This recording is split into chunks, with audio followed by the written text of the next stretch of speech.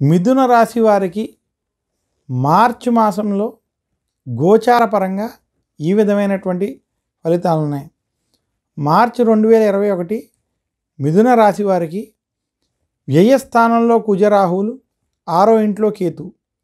అయితే కుజరాహువులు కేతువు మధ్య ఎలాంటి గ్రహస్థితి లేకపోవడం అందులో మిథున రాశి ఉండడం తర్వాత విశేషించి అష్టమ స్థానంలో శని గురువుల యొక్క సంచారం భాగ్యంలో బుధుని యొక్క సంచారం లాభంలో రవి శుక్రుల యొక్క సంచారం. మిథున రాశి వారికి గత కొంతకాలంగా చూసుకున్నట్లయితే పరిస్థితి అంత అనుకూలంగా లేనటువంటి పరిస్థితిలో ఈ మార్చి మాసం కొంతమేర మీకు అనుకూలంగా వ్యవహరించేటువంటి సమయం తెలియజేస్తున్నాను. మిథున రాశి వారు అష్టమ శని అష్టమ గురుని యొక్క ప్రభావం వలన చాలా జాగ్రత్తగా ఉండాలని తెలియజేస్తున్నాను. ఏది ఏమైనప్పటికీ ప్రస్తుతం మిగిలిన యొక్క గ్రహాల కొంత అనుకూల పరిస్థితి వలన ఈ మాసం మధ్యస్థ ఫలితాలు మిథున రాశికి ఉన్నాయి. మిథున రాశి ఉద్యోగస్తులకు ఇది శుభ సమయం. మిథున రాశి వ్యాపారస్తులకు ఇది చెడు సమయం. మిథున రాశి రాజకీయ నాయకులకు ఇది అద్భుతమైనటువంటి సమయం. మిథున రాశి విద్యార్థులకు ఇది చెడు సమయం. మిథున రాశి ఇది కలిసి వచ్చేటువంటి సమయం అని తెలియజేస్తున్నాను.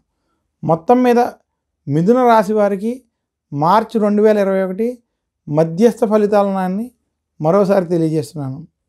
మిథున రాశి వారు మార్చి మాసంలో మీకు మరింత అనుకూలత కలగాలంటే ఖచ్చితంగా మిథున రాశి వారు మార్చి నెలలో శనివారం శనికి తైలాభిషేకం చేసుకోవడం అలాగే విశేషించి మంగళవారం రోజు సుబ్రహ్మణ్యేశ్వరుడిని ఆరాధించడం వల్ల కొంత శుభ ఫలితాలు కలుగుతాయి. మిథున రాశి వారికి కుటుంబంలో గొడవలు కలతలు ఇవి అధికంగా ఉండడం ఉద్యోగంలో చిన్న చిన్న సమస్యలు అధికంగా ఉండడం ఈ మార్చి మాసంలో స్పష్టంగా కనబడుతుంది. ఈ గొడవలు ఇలాంటివి కనుక తగ్గాలి అంటే సుబ్రహ్మణ్యేశ్వరుని ఆరాధించడం అలాగే ఉద్యోగంలో అనుకూలత రావాలంటే శనివారం రోజు శనికి తైలాభిషేకం చేసుకుని దాశరథి ప్రోక్త శని స్తోత్రం వంటివి చదువుకుని శనీశ్వరుని ఆరాధించడం వల్ల శుభ ఫలితాలు కలుగుతాయి. మిథున రాశి వారు మందపల్లి శని సింగాపూర్ అలాగే తిరునల్లార్ వంటి శని క్షేత్రాలను దర్శించడం వల్ల కొంత శని బాధల నుంచి విముక్తి కలిగేటువంటి అవ అవకాశం స్పష్టంగా ఉంది.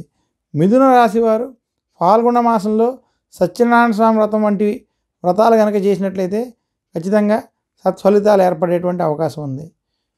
తదుపరి కర్కాటక రాశి.